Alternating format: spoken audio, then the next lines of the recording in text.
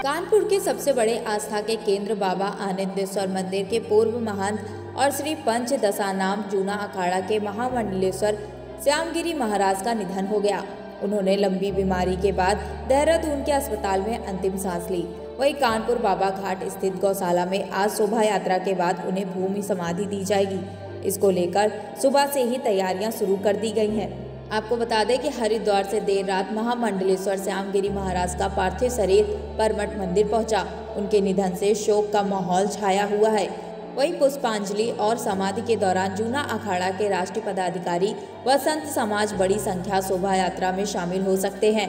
दोपहर करीब तीन बजे उन्हें भू समाधि दी जाएगी। ब्यूरो रिपोर्ट आई